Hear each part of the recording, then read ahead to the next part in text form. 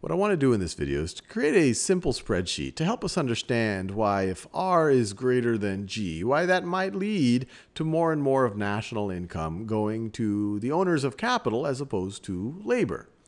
So let's just say R is 3%. We can change that assumption later. So that's the return on capital that we're assuming. We're assuming it's just going to be fixed at that constant rate. And let's say that economic growth is 2%. So we're assuming a scenario where R is greater than G. Now in this column, let me write the year. So is year one, year two, and then maybe we go, let's see, maybe we can go up to year, let's go to year 15, just for good measure. Now we could think about what our, our national capital is, or I could say total capital.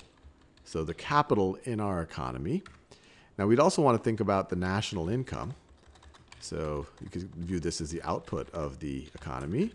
National income. And now we could think about the split of the income between capital and labor. So income to capital and income to labor. And now let's just think about percentage of total. So capital as percent of total. So let's come up with some assumptions right over here. So let's say that our aggregate capital, and I'm just going to throw out a random number here. Let's say it's 4 thousand. And if we're talking about millions of dollars, and this would be four trillion dollars. But I'm being currency agnostic right over here. So let's just say it's four thousand. It could be this could if we're this if it was in millions, this would be four trillion. But let's just say four thousand for now. And let's say our national income is 1,000, and we've seen charts already that, at least for the US, capital, national capital as a percentage of national income has been about four or 500%. It's kind of oscillated in that range. So it's been about four or five times national income. So these are, this is kind of a, a, a, a not unreasonable ratio. And now what's the income to the owners of capital? Well, we're saying that the return on capital is 3%. So this is going to be equal to this 3%. I'm going to press F4 to put those dollar signs, and we'll see why that's valuable. It'll make sure that we stay referenced to that cell as we drag this down later on. It's going to be that times, times the amount of capital that we have in the economy. So it's going to be 120. And notice, I had the dollar signs on the B1 because I always want to refer to this. But then I didn't put the dollar signs on the B5 because as I drag this down, I always want this cell, say when I drag it down here, I want it to refer to that same 3%. So that's why I kind of anchored it there with the dollar signs. But I want it to be times the capital in that row. So we'll see how that happens in a second. Now what's the income to labor? Well, it's going to be what's left over. National income minus the income to capital. And then capital is a percentage of total. The income to capital is a percentage of total income. Well, that's just going to be equal to, I can select income to capital, D5, divided by, divided by national income. And so it's 12%. And we're also going to assume that every year that income to capital all gets reinvested as capital, so it doesn't get consumed in some way. So the year two, the capital that we start off with is going to be the capital from last year plus the new income to capital, that capital, that's, that, that income to capital is going to get reinvested as capital. It's just going to be my assumption there. And national income, well, we know it's growth. It's going to be the previous year's national income plus, I guess we could say times, times 1 plus this number, plus our economic growth. So there, and I'll press F4 because I keep, I want to stay referencing that. And so notice we grew by 2%. And then these two over here, actually all three of these over here, we can just drag down. And now hopefully you see the value of what I did when I put the dollar signs here. Because now when I, when I dragged it down, this is still referring to B1, because I have the dollar signs there, so it's taking the 3% times B6. So B6 is this. So it's looking at the right, at that the B column, but in its row now. That's what's one of the really useful things about spreadsheets. And actually this column, let me make this, let me make this a percentage just so it becomes a little bit cleaner. Okay, there you go.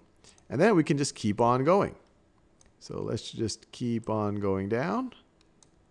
And what do we get? And actually, let me get rid of some of the decimal places here. It's making it a little bit messy.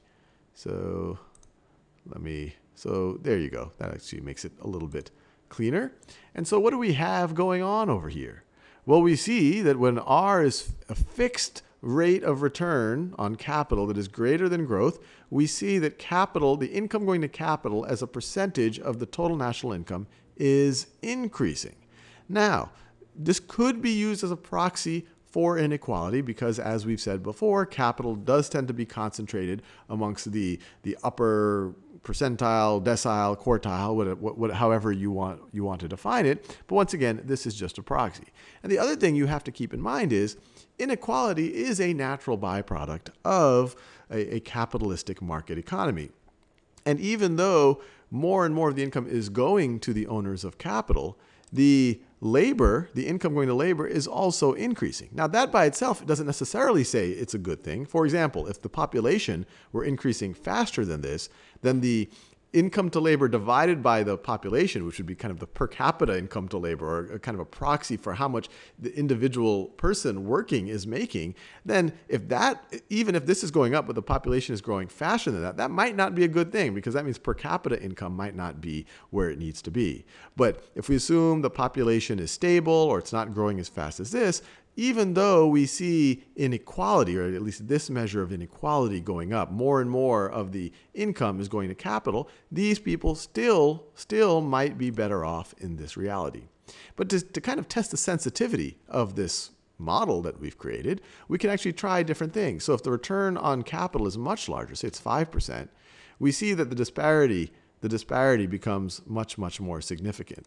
And let's say if it was 10%, now you see a situation that could get not so pleasant because in this situation, and this is a fairly extreme situation we have right over here, now all of a sudden the income to labor in absolute, not even on per capita terms, is actually decreasing. So it really does matter a lot where these two numbers are. But of course, if economic growth was also pretty robust, now all of a sudden, well, this is still decreasing. But if economic growth was 9%, now all of a sudden this could be a pretty good scenario for everyone involved. You do have at least this is kind of a proxy for increased uh, income to capital, which could be a proxy for uh, inequality, but maybe the economy is growing fast enough that everyone is benefiting. So I encourage you to either build a model like this, or I'll give you the link to this model as well, and play with these numbers and just try to get a, a better understanding for if we assumed R and G were constant, and we made some assumptions about starting capital and national income, how that ends up breaking down as we go further and further into the future.